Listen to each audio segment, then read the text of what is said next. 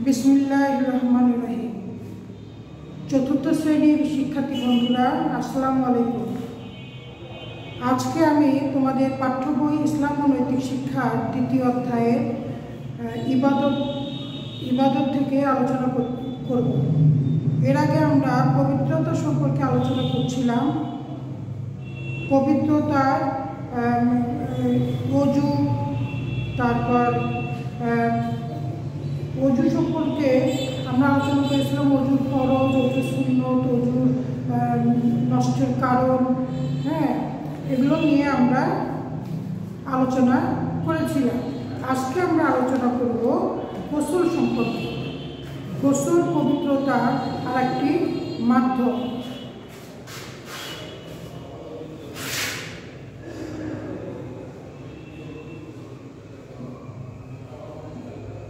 গোসল সুস্থ শরীর এবং সুন্দর মনের জন্য পাকসাপ থাকা প্রয়োজন। কিন্তু নানা কাজে নানাভাবে শরীরে ধুলা, ময়লা লেগে শরীর অপবিত্রত অপ- অপবিত্রিত হয়, তাই অস্বস্তি লাগে। এ সময় আমাদের পবিত্রতার দরকার হয়। এই যে শরীরের মধ্যে যে ময়লা, অপবিত্রতা দূর করার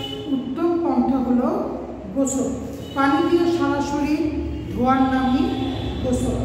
গোসল করলে গায়ের ঘাম দূর হয়, দুর্গন্ধ দূর হয়, দেহ মন পবিত্র পবিত্র হয়, মন ভালো থাকে, কাজে উৎসাহ আসে।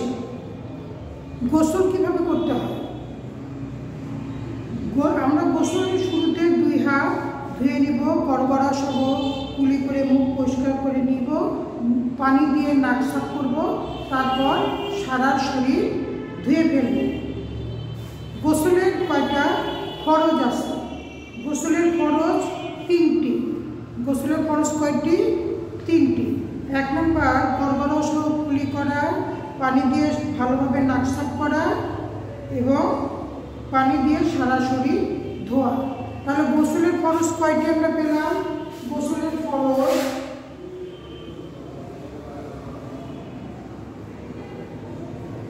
গোসলের খরচ তিনটি যথা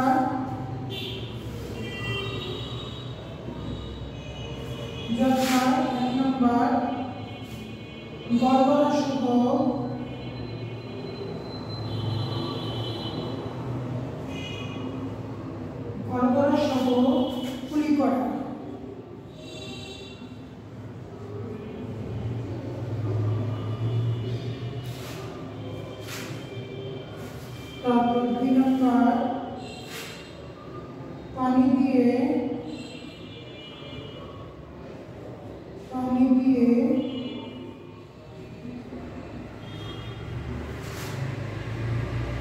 ভালোভাবে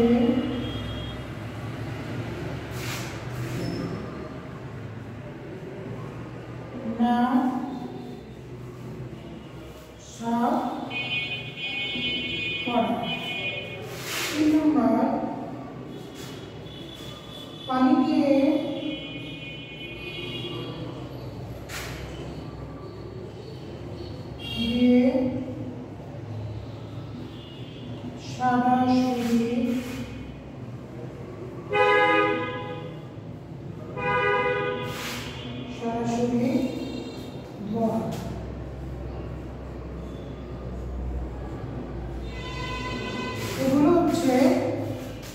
গোসলের ফরজ তাহলে আমরা পেলাম কি? গোসলের ফরজ তিনটি। এক নম্বর গড়গড়া সহ কুলি করা, দুই নম্বর পানি দিয়ে ভালোভাবে নাক সাফ করা, আর তিন নম্বর পানি দিয়ে সরাসরি ধোয়া। খেয়াল রাখতে হবে সারা শরীরের কোনো অংশ যেন শুকনা না থাকে। নিয়মিত গোসল করলে শরীর ভালো থাকে, গোসল করা আল্লাহ তালা হুকুম। এটাও একটা ইবাদত। এটাও একটা ইবাদত। আচ্ছা তাহলে গোসল সম্পর্কে আমরা জানলাম যে গোসলের খরচ আছে, গোসলের খরচ তিনটি খরচগুলো আমরা জানলাম। আর হচ্ছে গোসল করলে শরীর ভালো থাকে, মন ভালো থাকে, কাজে উৎসাহ পাওয়া যায়, ইত্যাদি বিষয়ে আমরা জানলাম। তোমরা বারবার করবে এই বিষয়টি।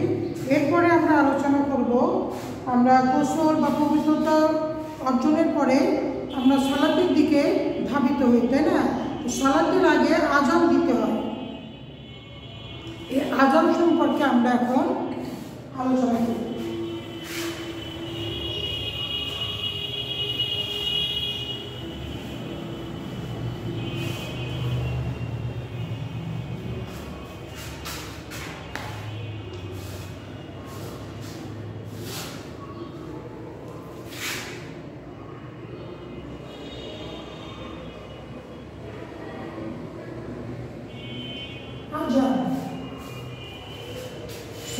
জামাতের সাথে আদায় করতে হয়। মোহাম্মদ সাল্লাম জামাতের সালাদ আদায় করার তাগিদ দিয়েছে। উনি বলেছেন, জামাতে সালাত আদায় করতে হয় জামাতে সালাত আদায়ের জন্য কীভাবে ডাকতে হয়, কেউ তা জানতো না। মোহাম্মদ সাল্লাম সাহাবিদের নিয়ে একদিন পরামর্শে বসলেন। আলোচনার জন্য কেউ বললেন, সালাতের সময় সময় হলে ঘণ্টা বাজিয়ে সালাতের জন্য সবাইকে টাকা ডাকতে হবে। আর কেউ বললেন সিঙ্গার ফু দিয়ে ডাকা হোক, কেউ বললেন, আগুন জ্বালানো হোক, ইত্যাদি এক একজন, এক একটা বললেন। আরও অনেকেই অনেক কথা বললেন। মহানবী সাল্লাহ ইসলামের কোনোটাই পছন্দ হলো না। একদিন গভীর রাত সাহাবি হজরত আবদুল্লাহ গভীর ঘুমে মগ্ন। স্বপ্ন দেখলেন একজন ফেরেস্তা তাকে আজানের বাক্যগুলো শোনাচ্ছে। ভোরে তিনি ওই বাক্যগুলো মহানবী সাল্লাহ আলাইসাল্লামকে শোনালেন। আশ্চর্য ব্যাপার, আশ্চর্য কথা যে হজরত উমর আজু একই স্বপ্ন দেখলেন। দেখেন, বাক্যগুলো মহানবী সাল্লাহ আলাইসাল্লামের খুব পছন্দ হলো। তিনি বললেন, এটা আল্লাহ তালারই নির্দেশ। মহানবী সাল্লাহ সাল্লাম হজরত বিলাল রাজ্লাহকে আজান দিতে বললেন হজরত বিলাল, বিলালের কণ্ঠে ধ্বনিত হলো হজরত বিলাল রাজ্লাহুর কণ্ঠে ধ্বনিত হলো প্রথম আজান। হজরত বিলাল বললেন ইসলামের হজরত বিলাল হলেন ইসলামের প্রথম মসজিদ তাহলে ইসলামের প্রথম মসজিদকে হজরত বিলাল রাজিয়াল্লাহ এখন আমরা তোমরা তো প্রতিনিয়ত মসজিদে, মসজিদ থেকে যে আজান দেওয়া হয়, তোমরা শুনে থাকো সেই আজানটা আবার আমরা তোমরা, আমরা একটু উচ্চারণ করতে চাই। আল্লাহ আকবর আল্লাহ আকবর আল্লাহ আকবর আল্লাহ আকবর। আশহাদু আল্লাহ ইলাহা ইল্লাল্লাহ, আশহাদু আল্লাহ ইলাহা ইল্লাল্লাহ, আশহাদু আন্না মুহাম্মাদার রাসূলুল্লাহ, আশহাদু আন্না মুহাম্মাদার রাসূলুল্লাহ। হাইয়া আলাস সালাহ, হাইয়া আলাস সালাহ